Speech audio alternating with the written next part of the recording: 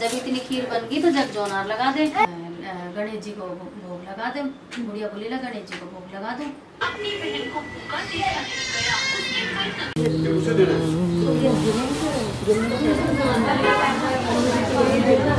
तो भाई लोग देखो चद्दर मैंने बिछाई है कैसी लग रही है बताओ ग्यारह बारह जनता के मेघ गरजे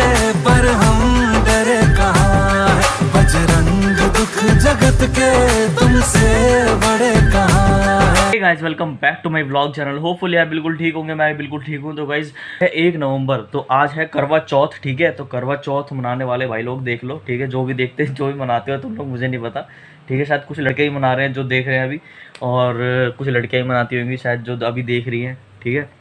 तो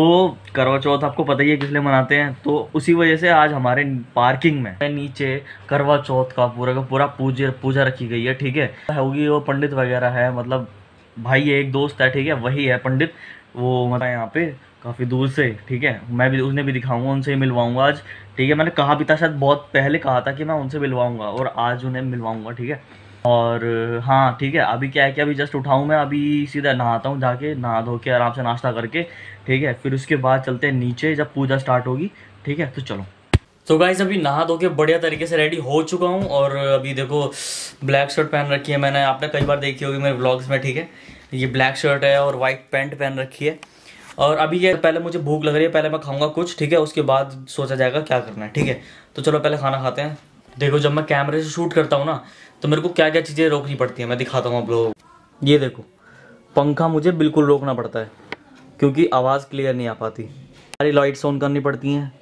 क्योंकि आवाज़ या फिर कोई लाइट की दिक्कत छोटे छोटे आपने क्लिप्स देखी होंगी अभी करवा चौथ के है ना तो वो तो बस छोटा सा था ठीक है अभी नी, अभी नीचे जो है सारी जितनी बिल्डिंग की सारी की सारी जितने लोग हैं मतलब सारे लोग नहीं जितने मतलब जिन जिन लोगों ने व्रत रखा वो सबने नीचे अपनी पूजा रखवाई है तो मैं जाके उसे दिखाऊंगा ठीक है किस तरीके से हमारे बिल्डिंग में मतलब हर कोई भी त्यौहार आता है तो साथ मिलकर सब लोग मनाते हैं मैं दिखाऊंगा नीचे जाके ठीक है और तब तक पहले कुछ खा लेता हूँ क्योंकि मुझे लग रही है बहुत तेज़ भूख ठीक है चलो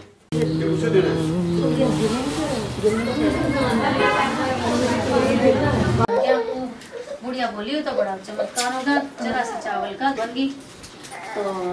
गणेश जी बोले तो ठीक है भाई जब इतनी खीर बन गई तो जब जोनार लगा दे दिन गई इतने बुढ़िया की बहू ने पीछे से खीर कहने लगी बुढ़िया कौन सी है कहने लगे गणेश जी को भोग लगा दे बुढ़िया बोली ना गणेश जी को भोग लगा दो अब ना बुढ़िया माई भोग तो मैंने लगा लिया हम्म।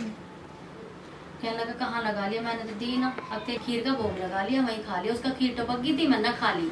अब तू जग जो ना लगा दे सब कुछ जीवा हम्म। तो वो काम तो दबी गया था वहां भाई है मेरे हम्म। गाँव को ठीक कैसे पूरा गांव खीर खा के गया हाँ। जैसे पूरी पूरी नगरी खीर खाई और बर्तन भी छोटे पड़ गए बर्तन हम्म, छोटे पड़ गए बुढ़िया हम्म। माई के खूब चहल पहल हो हाँ से गाँव खीर खत्म ना हुई फिर फिर नोई तो बोली बुढ़िया के बड़ों को गणेश जी बोले अच्छा मैं चलूँ अब मांगू झटका मांगा तेने खीर बनाई भाव हो तो गणेश जी अंतर ज्ञान हो गए जैसे और बुढ़िया माई को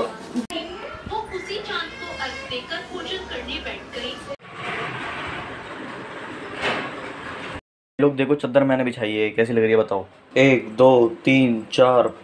पाँच छ सात आठ नौ दस ग्यारह बारह तेरह चौदह पंद्रह सोलह सत्रह अठारह उन्नीस बीस इक्कीस